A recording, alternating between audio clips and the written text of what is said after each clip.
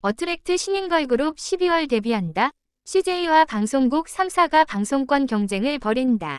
전홍준 대표의 결정은 어트랙트 전홍준 대표는 싱가포르에서 거액의 투자를 유치한 후 이미 새 걸그룹 론칭에 대한 계획을 전한 바 있습니다. 오디션의 구체적인 일정은 공개되지 않았습니다. 다만 어트랙트는 이번 오디션의 포인트를 대중과 직접 호흡하고 대중이 직접 뽑은 대중픽을 꼽았습니다.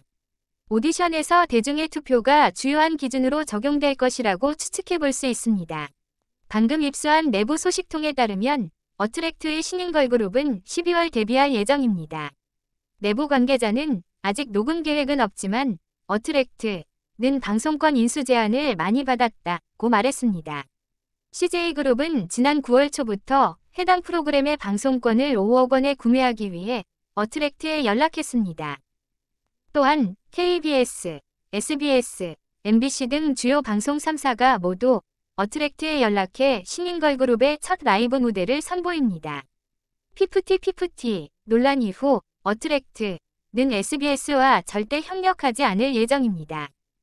이에 전홍준 측 관계자는 어트랙트 측이 이 프로그램에 대해 구체적인 계획을 밝히지 않은 상황에서 매우 놀랐다고 전했습니다.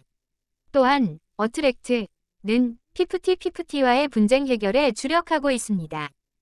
전홍준 측이 신인 걸그룹 노래 저작권을 어떤 유닛에도 판매하지 않기로 결정했습니다. 피프티 피프티 논란을 교훈 삼아 신인 걸그룹의 활동을 관리하는 유일한 유닛은 어트랙트입니다. 한편 어트랙트는 오는 12월 말 신인 걸그룹의 대대적인 데뷔 쇼케이스를 개최할 예정으로 대중들의 뜨거운 성원 속에 어트랙트의 신인 걸그룹이 높은 성과를 낼 것으로 기대된다.